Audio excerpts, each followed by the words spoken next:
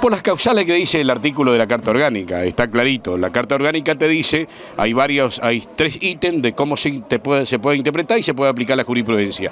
Uno es, por ejemplo, que vos tengas el domicilio en Iguazú, que haya nacido en Iguazú. Otra cosa es el domicilio, la residencia permanente.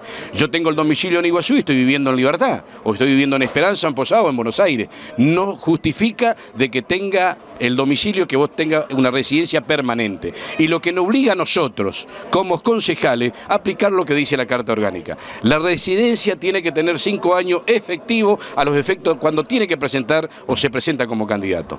Por supuesto, según el expediente que puso el, señor de esa obviamente no se reunían las condiciones y bueno, llegó a esto, pero más allá de eso, vuelvo a reiterar, no se justifica cualquier tipo de hecho que se genere una reacción violenta donde daña la estructura del edificio municipal, eh, digamos del Consejo, que es de todo, y por supuesto los daños físicos, que es lo más lamentable.